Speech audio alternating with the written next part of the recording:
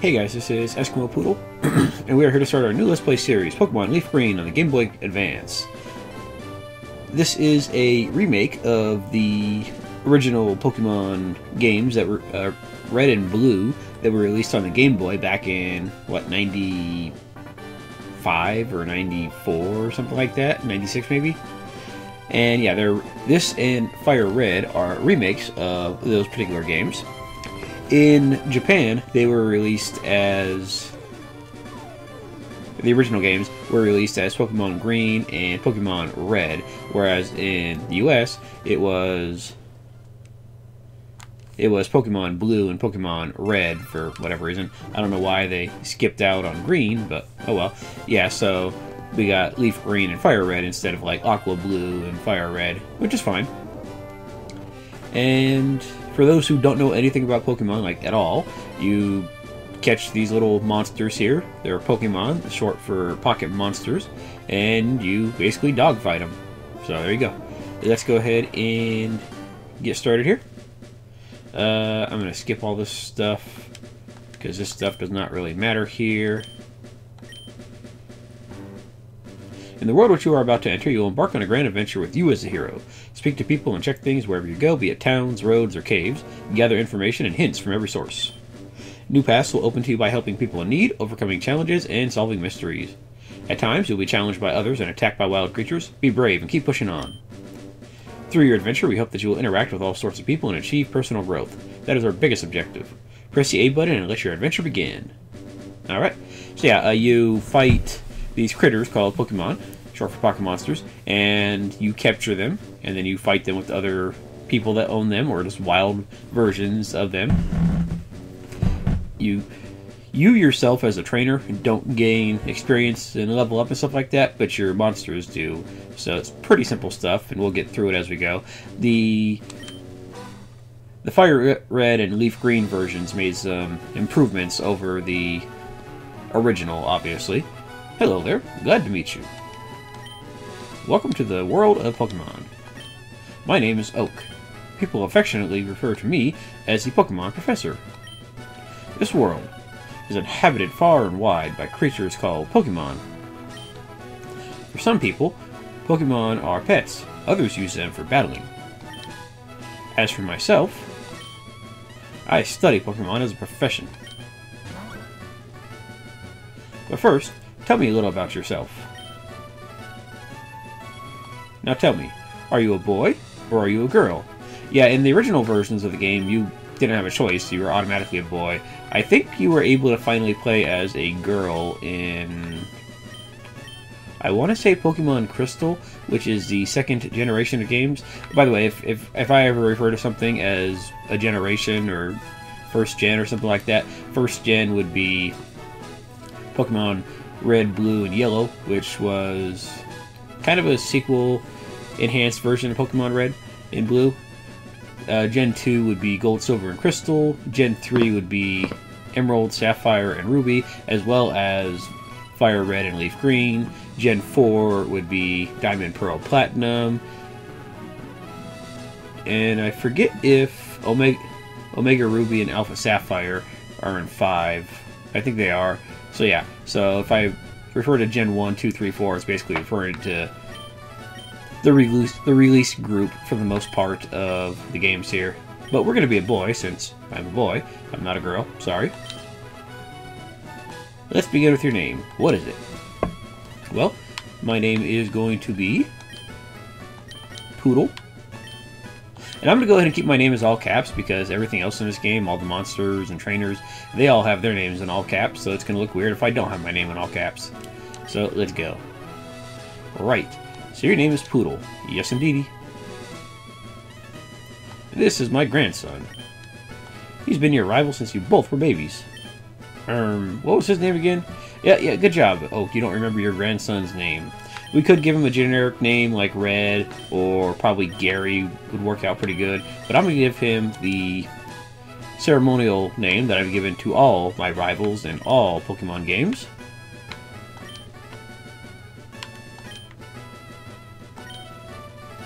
And there we go. Loser. Because he's always going to lose.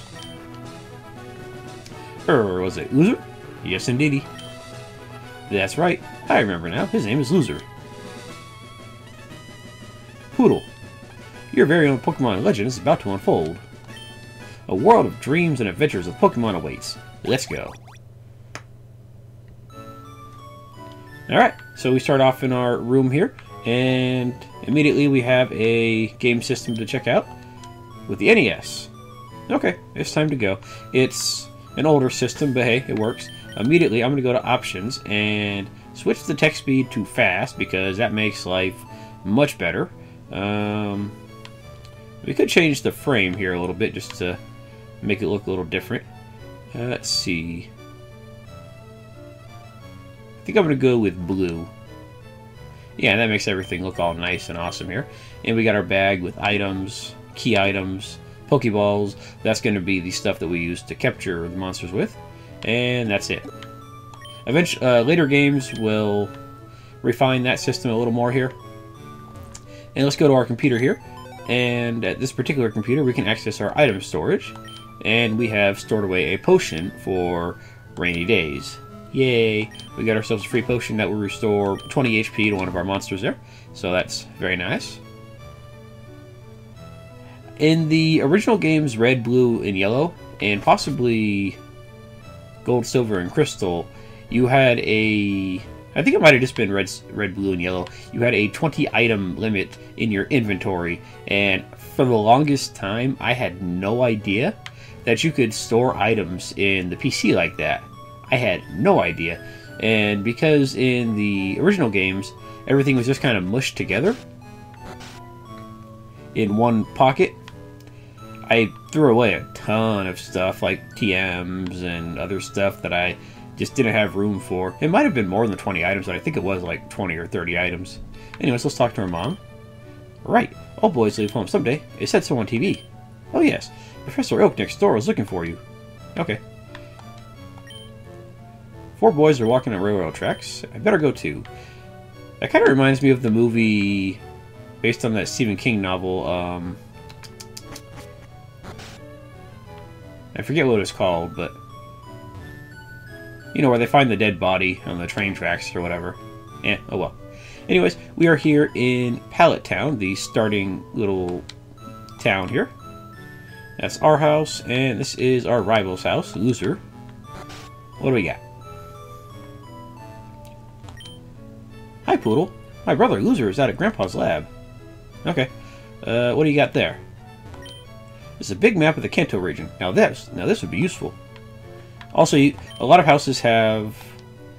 Well, I thought that one was. But a lot of houses or buildings have town maps that you can check out. And Pallet Town, Shades of Your Journey away. And just use that map right there.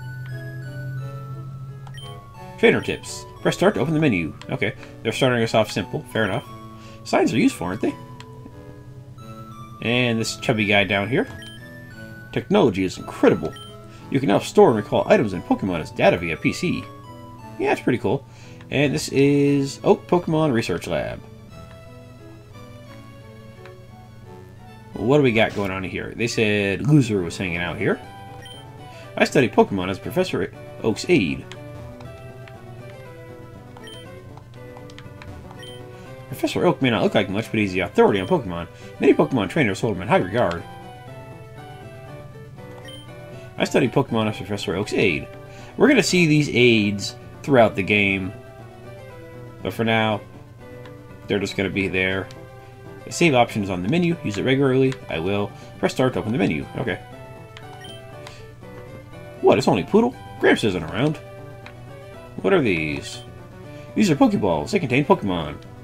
Uh, you'll be seeing this particular sprite, this little Pokeball sprite, on the overworld map because they will contain items. I don't know why items are in Pokeballs instead of like other stuff like chests or whatever, but there you go. And when you pick up the items, you do not get an extra Pokeball out of it. You just get the item. I mean, that that actually be a pretty cool little feature. Is they hold the items, yeah, sure, but then once you take the item out, you get an extra you get an extra catching item out of it, but they don't do that. Anyways, Professor Oak is not around the town, so you know what, screw him. Let's just go out here and start our adventure on our own. Hey, wait, don't go out. It's unsafe. Wild Pokemon live in tall grass. You need your own Pokemon for your protection. I know. Here, come with me.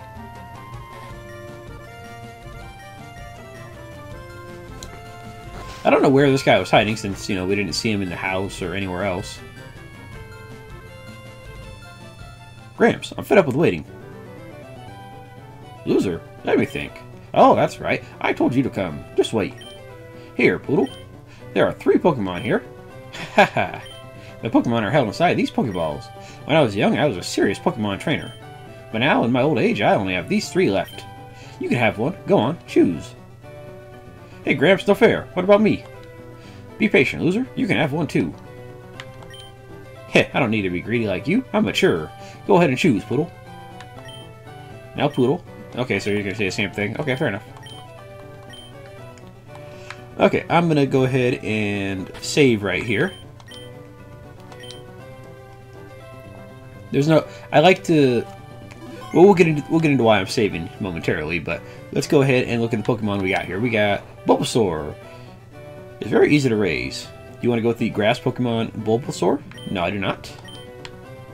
We have Squirtle. It's one worth raising. We're not going to go with the water Pokemon Squirtle. And we have, you should raise it patiently, Charmander.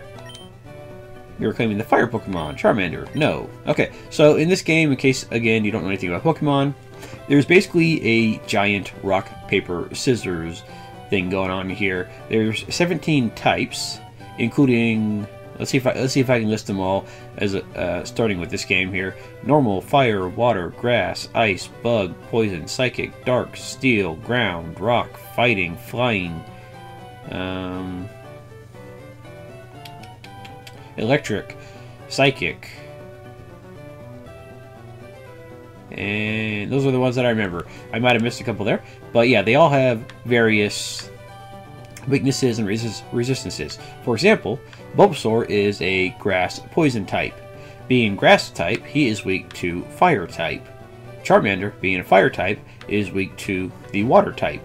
Squirtle, being a water type, is weak to the grass type here. So it's basically a giant rock paper scissors game. It, okay, let's let's take an example of something like a Geodude, which we're going to see eventually. He has rock and ground type. He is weak to water from his ground type, and also weak to water from his rock type. Now, if he was just a pure rock type, he would take double damage from water types. But because he has two types that are weak to water, he takes quadruple damage. On the other hand, though, let's say he was rock steel type, he would be only taking a quarter damage from something like a normal attack because that would be resisted by both of his types right there. So you'll get in. We'll get into all the types as we go, but let's just for now just leave it at that. Anyways, I am going to go ahead and choose Squirtle as my type here. He is Actually, before we get too far, let me actually go over how these Pokemon differ stats-wise. Bulbasaur is very balanced. He has acceptable attack and pretty good defense and special stats, including special defense. His speed is pretty okay. He's just very average all around. Squirtle, he focuses slightly more on defense with higher defense and special defense than the other two. And again, his speed is about the same as Bulbasaur's for the most part. And his offenses are yeah, acceptable. And Charmander, he focuses more on speed and attack and his defenses are slightly lower than the other twos, but yeah, not really that much. We're going to go ahead with Squirtle here. Okay, let's get Squirtle, and we can give nicknames to these guys, so let's call him... Hmm. Not sure what to call you, actually.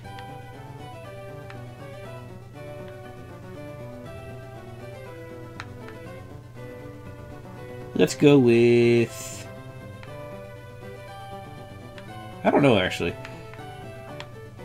Hmm.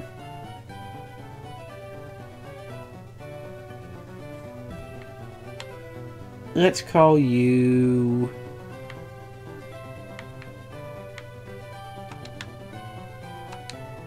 Oh, I have the wrong blood in there. Okay, let's go with...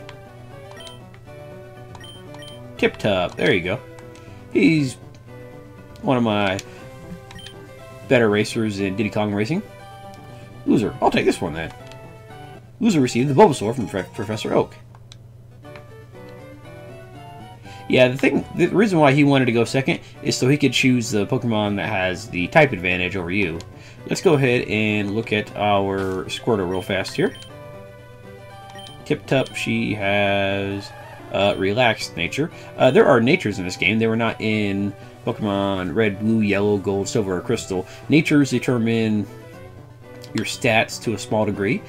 What they do is they raise one nature by, or one attack, or one stat by 10%, and lower the other stat, or another stat by 10%. So, for example, uh, let's see here, relaxed.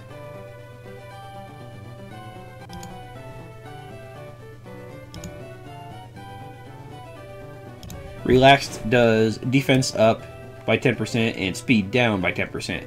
So that's not bad for a Squirtle because he, he already has high defense, but I am kind of picky about my natures, so I'm going to reset until I get a nature that I care for.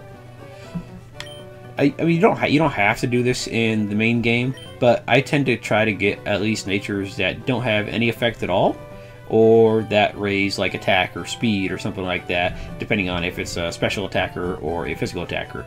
So let me go ahead and just grab a better Squirtle real fast, and I'll be right back. Okay, I got a slightly better Squirtle on my second try, so let's go ahead and check him out here.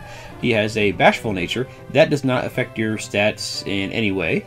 Actually, from what I've heard, the natures that don't affect your stats, apparently what it does is it raises and lowers the same attack, or the, the same, the same stat by 10%. I don't know if that's true or not, but Bashful is one of those natures that has no negative or positive effect of any of your stats, so that'll be fine. Our defense is slightly lower than what the other the other Squirtle had, but you know what? We'll live with that. Okay, we got ourselves our, our tip top here. And by the way, if you look at the the menu here, you see that we have six slots for Pokemon. You can carry six Pokemon with you at a time, and any that you catch beyond that will go to a PC that you can interact with them and change them around to your party right there. So, let's go ahead and see what Oak has to say about it. If a wild Pokemon appears, your Pokemon can battle it. With it, with it at your side, you should be able to reach the next town. Okay. My Pokemon looks a lot tougher than yours. Alright, let's just go ahead and get out of here. Wait, Poodle, let's check out our Pokemon. Come on, I'll take you on. And we get into a battle right away here. Something about your arrival you'll notice is he's kind of impatient. Not as much as some of the other games, but pretty impatient. He would like to battle. He sets out Bulbasaur. Alright, these are those uh, fights we've been talking about. Oh, for Pete's sake. So pushy as always. Poodle, you've never had a Pokemon battle before, have you? A Pokemon battle is when trainers put, pit their Pokemon against each other. The trainer that makes the other trainer's Pokemon faint by lowering their HP to zero wins. But rather than talking about it, you'll learn more from experience. Try battling and see for yourself. Okay. So we have our moves here. Tackle and Tail Whip. They're both normal types. So that means the thing about normal types is they're not effective or ineffective against very many types. They're not super effective on any types, but they are not very effective on some types. Inflicting damage on the foes is the, is the key to any battle. Okay, so let's just go ahead and keep on tackling here. And you don't really have a whole lot of options. You could go ahead and tail whip to lower the defense, but Bulbasaur might growl at you to lower your attack stat or something like that. And, well, it would just basically end up in a stalemate for a little while. And you got a critical hit on me. That's not good. By the way, you may have noticed that we have been going at the... It's important to get to know your Pokemon thoroughly. This is a list of your Pokemon. Poodle, open this to check the skills and moves of your Pokemon. You can also check Pokemon here if you want to use an item on one. That's what I was trying to do. You may have noticed that we have been going... Sometimes, sometimes... Okay, keep your eyes on your Pokemon's HP. It will faint if the HP drops to zero. Go away, you geezer. Yeah, you'll notice that sometimes Tip Top will go first, and other times Bulbasaur will go first. In that case, that means both the Pokemon have the same speed, and that's referred to as a speed tie, and basically it does an invisible coin flip to decide who's actually going to get that first attack off right there. So there we go. We win the battle, we get 67 experience points, and that's enough to get to level 6. And we get some special defense, some HP, and a little bit of everything else. Very nice. See, like I said, Squirtle has slightly higher defensive stats than the other Pokemon here. What? Unbelievable. I picked the wrong Pokemon. Yeah, we get 80 Poke Dollars, or Poke Yen, but I'm going to call them Poke Dollars. Hmm, excellent. If you win, you earn prize money and your Pokemon will grow. Battle other trainers and make your Pokemon strong. Okay, cool. Okay, I'll make my Pokemon battle to toughen it up. Gramps, Poodle, spell you later. Uh, hey Oak, what are you going to do with this guy right here? That's Professor Oak's last Pokemon. He's just going to sit there. Raise your young Pokemon by making a battle. It has to battle for it to grow. Okay. Let's just go ahead and get out of here. Matter of fact, let's go talk to our mom and tell her that we're leaving. I don't think we were actually healed up after that battle. Oh, by the way, something about moves that you should know is... Oh yeah, we were actually healed up after that battle. Where it says PP, that's basically like your individual mana for each move. It stands for... I think it stands for point power or something like that but just PP for short. It's basically how many times you can use that particular move. So Tackle, we can use it 35 times before we have to rest at a Pokemon Center, which heals up our health and PP for moves. And Tail Whip has 30. Stronger moves have less PP with... They're, they're increments of 5. There's moves with 5, 10, 20, 30, 35, possibly 15. Yeah, there are just plenty of moves. And we're going to be getting into a fair amount of them. Poodle, you should take a quick rest. Every time you talk to your mom here, you'll take a quick rest, and your Pokemon's HP and PP will be restored, and you'll be good to go. So let's just go ahead and, well, head on out first. We don't have any, we don't have anything to catch the wild Pokemon with, unfortunately, but, oh well. Let's just go ahead and see what we got here. Pallet Town to Viridian City. Okay. Let's go. Hi, I work at a Pokemon Mart. It's part of a convenient chain selling all sorts of items. Please visit us in Viridian City. I know, I'll give you a sample. Here you go. And we get ourselves another free potion, which, if I didn't mention it, they restore 20 HP to one Pokemon. And we get to fight ourselves a Rattata, which is one of the basic Pokemon in this route.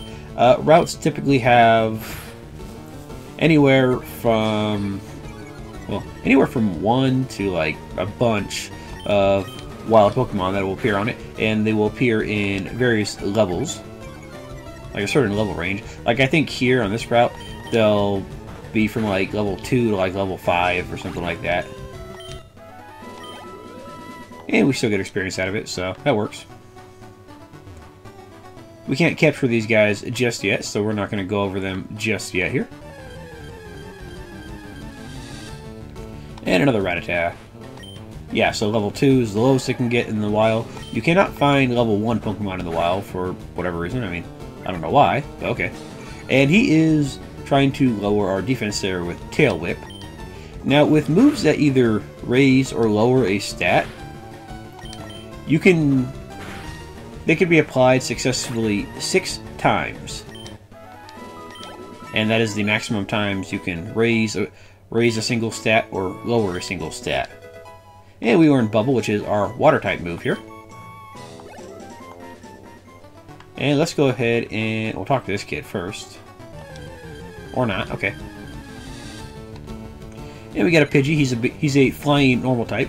For some reason, flying always has a secondary type, and it's been that way until I think Gen 5. Now, if you press select or start, uh, which one is it? No, you can't. Okay, yeah, I think you have to do it in the screen. You can move your moves around. So if like you want Bubble up front to have it available for use, you can do that, but oh well. Um, what was I going to say? I don't know what I was going to say here.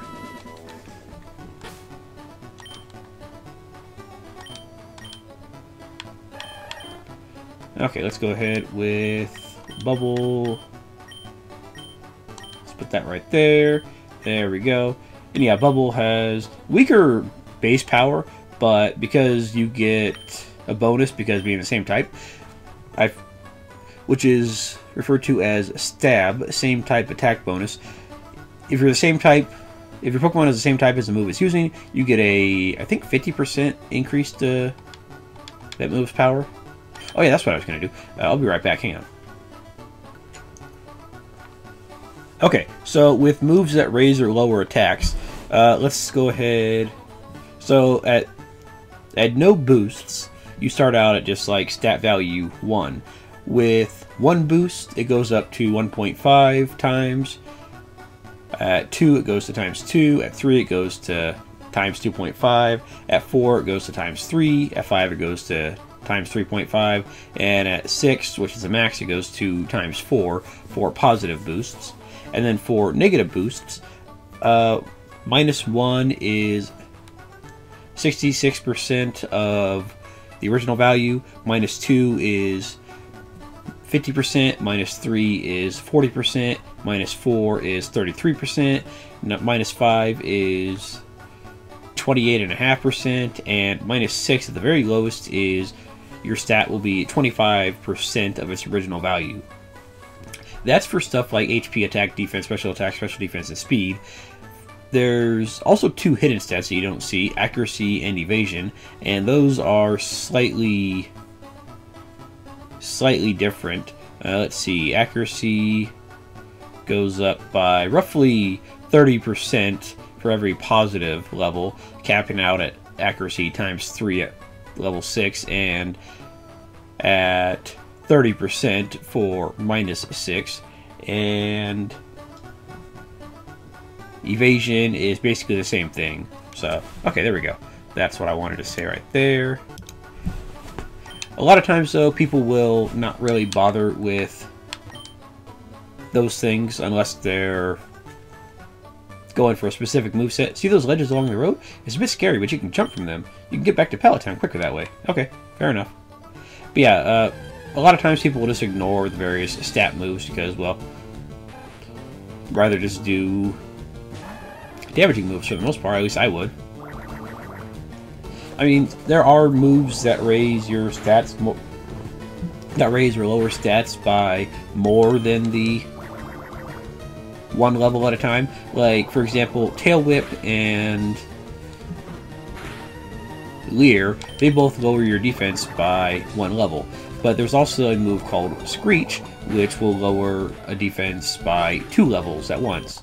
So you can get you get all six stages of de-leveling the stats in three turns opposed to six. So those are kind of useful, but for the most part, I don't really bother with them that much. Let's go ahead and heal up since why not? Yeah, Pokemon Centers here, they are free, and they will do the same thing that your mom does, except it takes a little longer depending on how many Pokemon you have, because they'll insert each ball individually in the machine. Not individually, like one at a time, you heal them one at a time. It just goes through the animation of putting them each into the little machine right there. Okay, now that we're at a non-home PC, we can access these PCs and we have someone's PC and Poodle's PC. Someone's PC is where you access your Pokemon that you deal with, and Poodle's PC is where you can store items if you need to. And Mailbox, that's a useless feature, I'm not even going to bother with it. Please feel free to use that PC in the corner. The receptionist told me so. Still kind of her. There's a Pokemon Center in every town ahead. They charge no money, so don't be shy about healing Pokemon. Pokemon Centers heal your tired, hurt, or fainted Pokemon. They make all Pokemon completely healthy. Yeah, when I was little, I had a strategy guide for this game, and for the Pokemon Center, it said, Rare is the game that lets you heal your party for free, so take advantage of it. And for some reason, I thought that Rare was like the company that made the Pokemon games, and I was like, okay, so this game Rare, they let you heal your characters for free, and I didn't, I didn't meet, I didn't get that they were saying it's a rare game that lets you heal for free. I, I just misread that completely. You want to know about the two kinds of Caterpillar Pokemon? Sure, why not? Caterpie has no poison, but Weedle does. Watch that your Pokemon aren't stabbed by Weedle's poison sting. Okay, fair enough. Uh, let's see. We could explore more here, but let's just check out the mart real fast. Hey, you come from Pallet Town? You know Professor Oak, right? His order came in. Can I get you to take it to him? We receive Oak's parcel. And that's a key item. There we go. I've got to buy some potions. You never know when your Pokemon will need quick healing. Yeah, that's true. This shop does good business in antidotes, I've heard. Yeah, that's because the Weedles will poison you. Okay, thanks. Please say hi to Professor Oak for me, too. Uh, I don't think you can actually buy anything until you deliver it, but maybe you can. Let me see. Yeah, you have to you have to deliver this to Professor Oak before you can actually buy anything. So let's go do that real fast. And you know what? Let's go ahead and take the shortcuts here, aka these little ledges, because that'll make life easy. By the way, I'm not going to be this slow in all videos for this game. I'm just trying to explain stuff at the front, I guess. But we'll have more faster paced videos for the most part. And let's see, are we gonna get in a battle there? No. By the way, you can always you can always check how much experience your Pokemon needs to the next level just by the summary there. And it's pretty easy to tell, so we need 25 experience. Awesome. By the way, if you ever see a slight speed up in the game, that's because the Y button on my Xbox controller here, uh, it's the fast forward function, and it, I keep pressing it instead of opening the menu by accident. So I try I try to avoid that for the most part here, but sometimes I just forget what button is what. Oh, Poodle, how's my old Pokemon? Well, it seems to be growing more attached to you. You must be talented as a Pokemon trainer. What's that? You have something for me? Yeah, we deliver his parcel. Very nice. Ah, it's a custom Pokeball. I had it on order. Thank you. Gramps. I almost forgot. What did you call me for? Oh, right. I have a request for you two. On the desk there is my invention, the Pokédex. It automatically records data on Pokemon you've seen or caught. It's a high-tech encyclopedia. Poodle and Loser, take these with you. And we receive we receive our Pokédex here. You can't get detailed data on Pokemon just by seeing them. You must catch them to obtain complete data. So here are some tools for catching wild Pokemon. You receive five, five Pokeballs. These are the basic uh, capturing devices of the game. When a wild Pokemon appears, it's fair game. Just throw a Pokeball at it and try to catch it. This won't always work, however. A healthy Pokemon can escape. You have to be lucky. Make a complete guide on all the Pokemon in the world. That was my dream, but I'm too old. I can't get the job done. So I want you two to fulfill my dream for me. Get moving, you two. This is a great undertaking in Pokemon history. Alright, Gramps, leave it, all, leave it all to me. Poodle, I hate to say it, but you won't be necessary for this. I know. I'll borrow a town map from my sis. I'll tell her not to lend you one, Poodle. Don't bother coming around to my place after this. Okay, so we've got our starter Pokemon, we've got our Pokédex, and we've got balls. We're going to go ahead and start capturing Pokemon next time. So guys, thank you for watching, and I will see you guys then. Have a good night.